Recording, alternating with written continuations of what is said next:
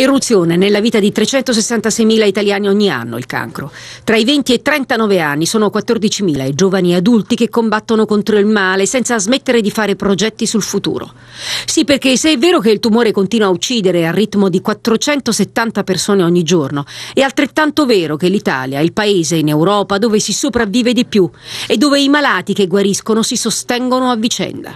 Le persone che ci incontrano, che sanno della nostra malattia, ci raccontano tutte le persone che purtroppo sono decedute.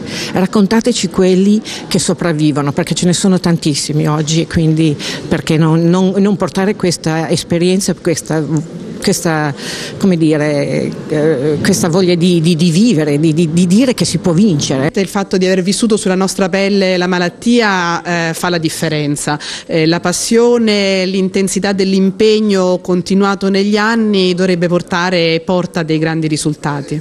Disomogeneità delle cure e delle strutture tra nord e sud, liste di attesa inaccettabili per una patologia dove la lotta contro il tempo è d'obbligo, mancato decollo delle iniziative di prevenzione, carenza dei servizi di assistenza domiciliare e presa in carico dei malati. Sono le ombre contenute nel sesto rapporto sulla condizione dei malati oncologici, troppo spesso chiamati a far fronte da soli anche ai costi altissimi della malattia. Eh, chi si ammala deve avere la stessa assistenza vicino casa in qualsiasi parte del, del territorio territorio e purtroppo questo ancora non è così. Una famiglia in media spende più di 40.000 euro all'anno se ha un malato di colon retto al proprio interno, quindi è un trambusto, è un carico economico che molte famiglie peraltro non riescono a sobbarcarsi e quindi questo provoca ingiustizie e difficoltà. Qualcosa si muove anche nel nostro paese. È l'impegno della società civile che si allea con la scienza e sempre più offre risposte che la politica non riesce a dare.